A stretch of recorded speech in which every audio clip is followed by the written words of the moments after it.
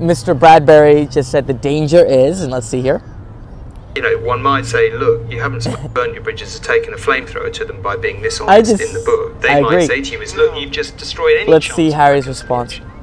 Well, they've shown absolutely no What willingness to the heck does that mean? up until this You point. jerk. And I'm not sure Like, how honest he's such a jerk. Again, we've seen it again in the interviews. It's like everything that he does, it's just fine. It's like, well, you know, they should apologize. I just, you know, torch their bridges. Just a, a petulant baby. is burning bridges. You know, silence only allows the abuser to What? abuse. You Right? So jerkwad. What a jerk. You're not, you know, that's the thing I don't like is the word abuse has gotten so overdone.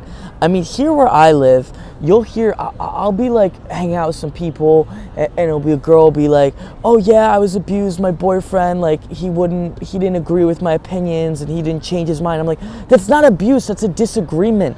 It's like there are people who've been actually abused that silence is allowing the abuser to continue. What a jerk. And also, what a lying reframe. You're putting out everyone's personal business that is not, you know, fighting an abuser. Like, what a jerk. What a jerk. don't know how staying silent is ever going to make things What? better. You're such That's a liar. What. What a jerk. He's completely shameless. Let's. Oh, yeah. I wonder how much editing they did for this one How lost we are, I thought. How far we've strayed. How much damage has been done to our love, our bond, What? and why. All because a dreadful mob of dweebs and crones. And now he's breaking up with her. Clinically diagnosable sadists along Yep. Street feel the need to get their jollies and plump their profits and work out their personal issues What? by tormenting one very large, very ancient, very dysfunctional family. What? Let's This guy's a pitiful jerk. Honestly, I haven't heard like all the, the wording. I feel less and less bad for him. He's really not a good guy. I just want to concede a couple of things so we don't have to talk about them because it's very clear in the book. Paparazzi, horrific around your mother. That's Still very horrible Fair. today. Totally get that. I think everyone watching this will get that. Press doesn't always tell the truth about you. You've never met, and you know, there's, there's some lighter moments in the in your wife during that period. Obviously, they weren't. They're there. You can see them. So let's just concede all that. You against that? Right, okay. So- That- that kind of seems obvious. I wanted to talk to you about it's quite a often in therapy people start with a baseline, um, which is the serenity prayer, which I know you know well. I'm not going to turn this into a therapy session, don't worry, but um, but So seren- on that note, I don't know why they're speaking uh, like in code. Um, Serenity Prayer is specific to 12 step. I don't know if you guys know 12 step, like AA and whatnot. That that is what the Serenity Prayer is. I'm aware of that.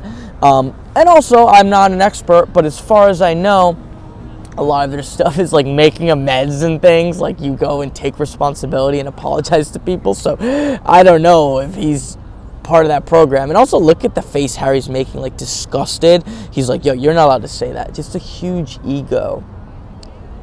prayer is uh, we, you know, oh God, give me the serenity to accept what I can't change, the courage to change what I can, and the wisdom to know the difference.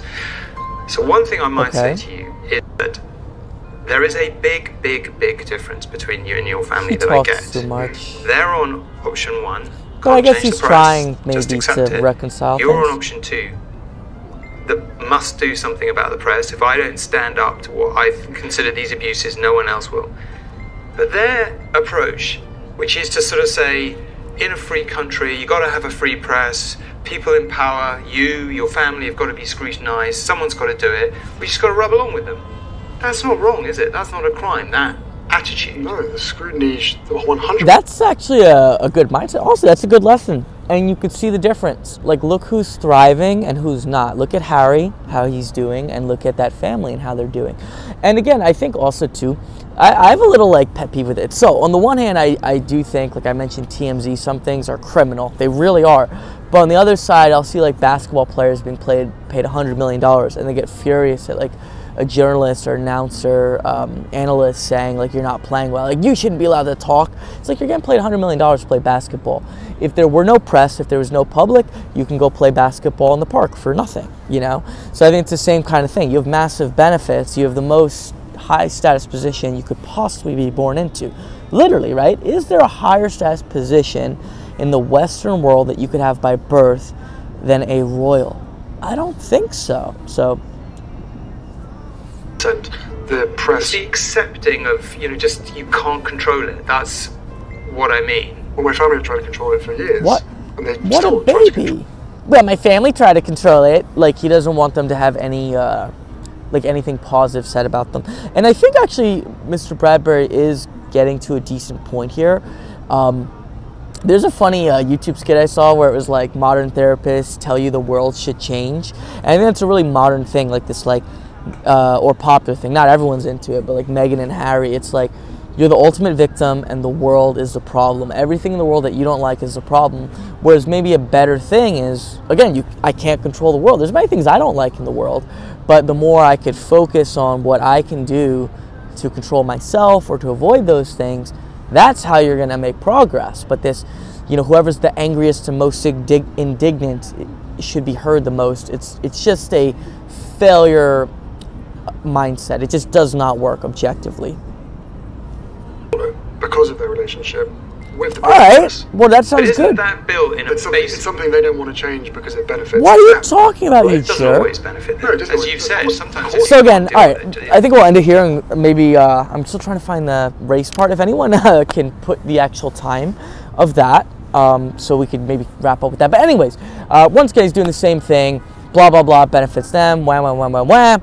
Same old thing. And as some of you commented, they were protecting him. The family was protecting him. His objective uh, persona and actions were pretty bad.